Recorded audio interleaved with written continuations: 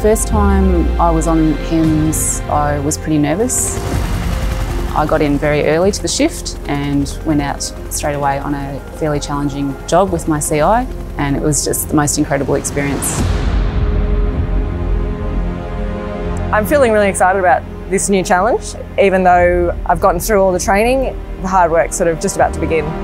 The reason why I became a MICA flight paramedic was, I think, a natural career course.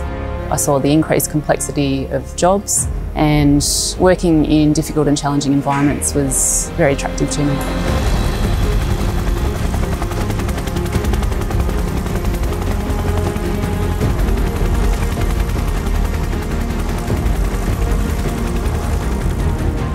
The training's been fairly rigorous and challenging so far.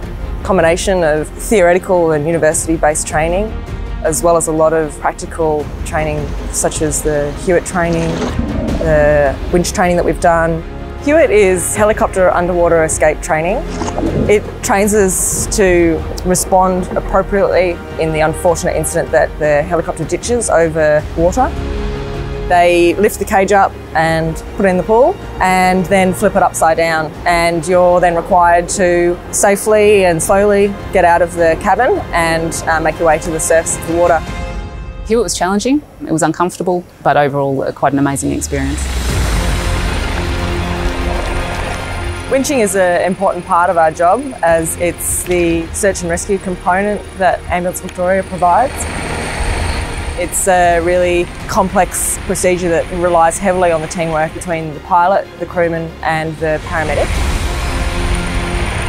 Going through the training with the three other MICA flight paramedics was a really valuable experience. We worked together and formed some really great friendships as well. I think the overall experience has been just incredible. The training, the camaraderie and the support from everyone here at Air Ambulance is incredible and it's just been the most amazing experience of my career.